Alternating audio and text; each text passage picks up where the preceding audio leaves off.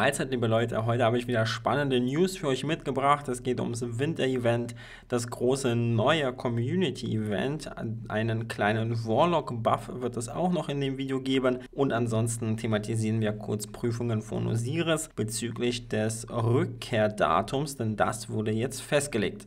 Bevor wir aber mit den Themen anfangen, ganz kurzer Rückblick auf die Woche.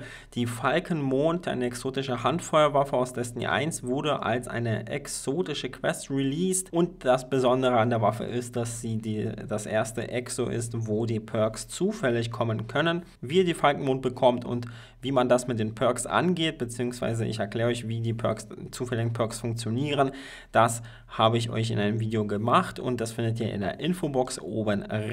Und ansonsten ich, äh, gab es auch diese Woche große Ankündigungen für das Jahr 2021 bezü bezüglich Erweiterung des Lootpools, DDoS-Schutz und Crossplay und natürlich auch vieles mehr. Auch das in der Infobox für alle, die es verpasst haben sollten. Kommen wir jetzt zu, endlich zu dem Winter-Event. Nun, das Winter-Event an sich nichts Neues. Ich gehe da kurz mal durch. Wir haben wie immer Deko im Turm, dann müssen wir wie immer Kekse backen.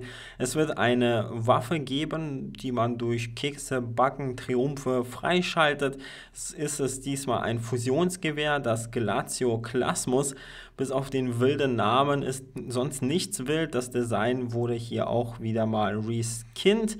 Schade, dass man sich hier nicht ein bisschen Mühe gibt wie im Everversum und bringt mal neue Skins. Das wäre großartig, genauso großartig wäre ein Daumen nach oben unter diesem Video. Dann haben wir ein neues Schiff und äh, neues Schiff ist klar, aber das Besondere an dem neues, neuen Schiff wird sein, dass man die Triebwerkfarbe einstellen kann, Einstiegseffekt einstellen kann, das ist klar, aber es wird auch animierten Shader geben. Animierte Shader haben wir meiner Meinung nach bisher noch nicht gehabt, das heißt Shader sind ja, wie so eine Art, ja, da bewegt sich was am Shader, ne? Der, wechselt Farben, wie so eine LED-Leiste oder so, stelle ich mir das vor.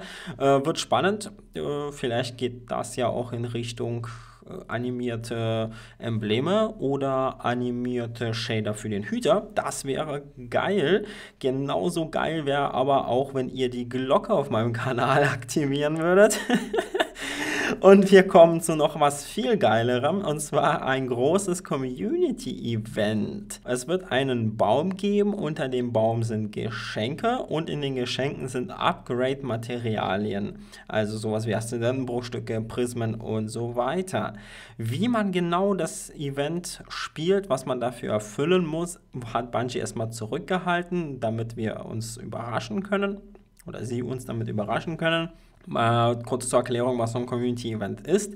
Es gibt eine große Aufgabe. Ich glaube, das letzte große Community-Event hatte, sagen wir mal, 5 Millionen öffentliche Events und wir müssen als Community 5 Millionen öffentliche Events abschließen. Sprich, jeder, je, jeder Spieler, der ein Event abschließt, dieser Punkt, dieses Event wird dann für den Gesamtscore gezählt und alle arbeiten an einer Aufgabe mit, bis man dann den, die Belohnung freischaltet. Es sind halt die Geschenke unterm Baum. Was man diesmal machen muss, keine Ahnung. Ich befürchte, dass es Kekse backen ist. Backe 50 Millionen Kekse, damit auch die ganze Erde da genug davon hat, nicht wahr? Ja, aber kommen wir weiter zu Prüfungen von Osiris. Das wurde ja jetzt länger ausgesetzt wegen Bugs im PvP. Es scheint jetzt äh, tatsächlich in den Griff gefangen zu sein und so hat man jetzt einen Termin angekündigt und zwar den 18. Dezember, sprich nächste Woche Freitag. Da soll Prüfungen von Osiris voraussichtlich zurückkehren. Es heißt also nicht, es wird zurückkehren, sondern voraussichtlich, es könnte auch noch verschoben werden.